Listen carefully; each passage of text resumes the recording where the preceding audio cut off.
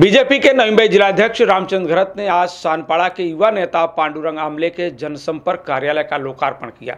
यहाँ कार्यालय उद्घाटन से पहले मुफ़्त स्वास्थ्य शिविर भी लगाया गया था, जहाँ रक्त जाँच, नेत्र जाँच और ईसीजी जाँच की गई। इस अवसर पर बीजेपी के कई पदाधिकारी और कार्यकर्ता बड़ी संख्या में मौजूद थे। देखिए रिपोर्ट। बीजेपी जिलाध्यक्ष रामचंद्र घरत ने आज सानपाड़ा प्रभाग छिहत्तर में रेलवे स्टेशन परिसर में युवा नेता और बीजेपी के समर्पित कार्यकर्ता पांडुरंग आमले के जनसंपर्क कार्यालय का उद्घाटन किया। इस अवसर पर मुफ़्त हेल्थ कैंप भी चला, जहाँ सैकड़ों की संख्या में नागरिकों ने नेत्र जाँच, रक्त जाँच एवं ईसीजी चेकअप करवाया। कार्यालय उद्घाटक बीजेपी जिलाध्यक्ष रामचंद्र घरत ने पांडुरंग आमले के मुफ़्त आरोग्य शिविर एवं सेवाभावी कार्यों की सराहना करते हुए कहा कि आर्थिक तंगी में ऐसा चिकित्सा शिविर लगाकर पांडुरंग आमले ने सानपाड़ा के रहवासियों की सच्ची सेवा का उदाहरण पेश किया है। हमने सामने की सेवा की है। ये सेवा आने वाले टाइम में अविरत रहेगी। उन्होंने अभी घोषित भी किया है कि आने वाले दिन में ये 24 घंटा कार्यालय रहेगा। यहाँ पे मदद की बहुत ज़रूरत है। लोग ट्रेन से रात भर आते रहते हैं। यहाँ से चल बहुत बड़े पैमाने पे अपना अपना काम करके स्टेशन से आते रहते हैं, उनको सेवा करने का काम क्योंकि उनका जो कुछ भी प्रॉब्लम है, उस प्रॉब्लम को सॉल्व करने का काम पांडुरंग हमले हमले से हमले की वजह हमले के वरना होएगा, ऐसा मेरे को लगता है।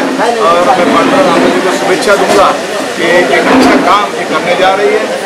इन्होंने आज यहाँ पे ऑफ़िस का ओपनिंग करके मेरे को विश्वास दिया है कि आने वाले दिन में भारतीय जनता पार्टी के माध्यम से ये सांगपड़ में प्रतिनिधित्व करेंगे, ऐसा विश्वास भी मेरे को लग रहा है। सानपड़ा प्रभाग छिहत्तर के लिए खोले गए इस जनसंपर्क कार्यालय के शुभारंभ अवसर पर महामंत्री नीलेश मात्रे, विजय घाटे, उत्तर भारतीय मोर्चा के जिला संयोजक राजेश राय, युवा मोर्चा नेता दत्ता गंगाले, वरिष्ठ समाज सेवी जगन्नाथ जगताप समेत तमाम कार्यकर्ता और पदाधिकारी मौजूद थे। युवा नेता पांडुरंग आमले ने अपने कार्यक्रम को नागरिकों की सेवा का ज़रिया बताया और अपने नेताओं के प्रति आभार भी प्रकट किया।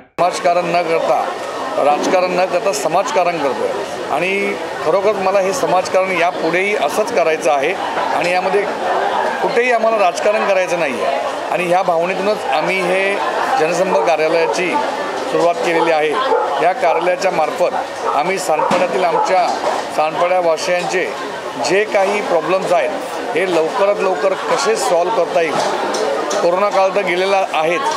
आणि कोरोना काळामध्ये जी लोकांची नुकसान झालेले आहे काही लोकांचे जॉब गेलेले आहेत बऱ्याचशा लोकांची आर्थिक अडचण झालेली आहे ती कशी सोडवता यावी? त्याच त्याचप्रमाणे आपल्या प्रभागामध्ये जे काही आरोग्यदृष्ट्या प्रॉब्लेम झाले आहेत ते कसे सोडवावे? यासाठी आम्ही जनसंपर्क कार्यालय ओपन केलेले आहे. आणि खरोखर आमचं हेच प्रयत्न असतील की जनसंपर्क कार्यालय आम्ही चोवीस तास कसे चालू ठेवावे यासाठी मी नक्कीच मार्गदर्शन घेईल आमच्या आदरणीय मंदाताई म्हात्रे व घरात साहेब यांचे आणि त्यांच्या मार्गदर्शनाप्रमाणेच हे कार्यालय आम्ही पुढे चोवीस तास चालवण्याचा प्रयत्न करू. खरं तर जनसंपर्क कार्यालय भारतीय जनता पार्टीचं जनसंपर्क कार्यालय आमले साहेबांनी हे जनतेच्या आणि महिलांच्या मागणीप्रमाणे म्हणजे केले आणि हे नवी मुंबईतलं या मुंबई मुंबईतलं सुद्धा. म्हणजे की हे असं कार्यालय असं पहिलं की जे चोवीस तास चालू राहणार आहे. आणि हे त्यांनी जनतेच्या मागणीनुसार चालू केलेलं आहे. आमले साहेबांनी याच्या अगोदरही करोना काळात भरपूर कामं केलेली आहेत. त्यांच्या कामाला जनता ही नक्कीच न्याय देणार आहे. Bureau report TV one India. Latest update और खबरों के लिए टीवी वन इंडिया को सब्सक्राइब करें और नोटिफिकेशन पाने के लिए बेल आइकॉन को दबाना मत भूलें।